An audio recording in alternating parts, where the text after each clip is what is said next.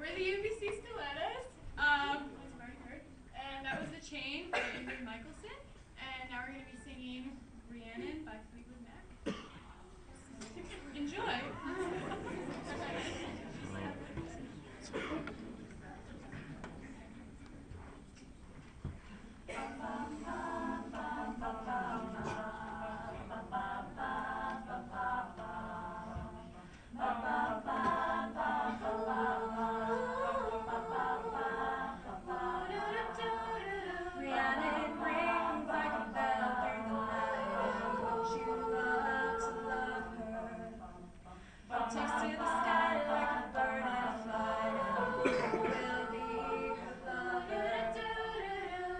your life.